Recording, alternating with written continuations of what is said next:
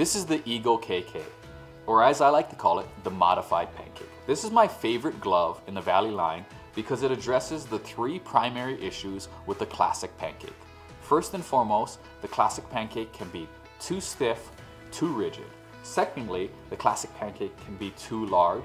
And finally, the classic pancake is limited to two-handed plays.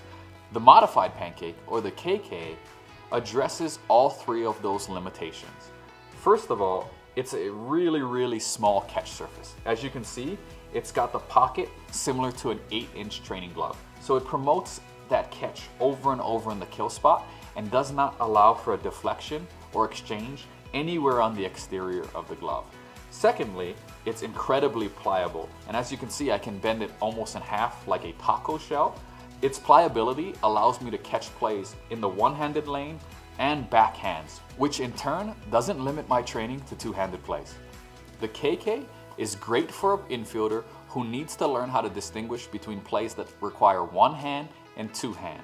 Sometimes we encounter a hop that we need to shorten and reach out with one hand. Sometimes we encounter a hop where we can merge the catch and transfer together and use two. The KK encourage and allows you to do both. Because the KK is Valle's thinnest model, it's optimal for low velocity work, either low speed fungos or coach thrown, toss, or rolled reps. Whether it's a pro player standing or a youth player kneeling, you won't find a better glove to isolate the hands.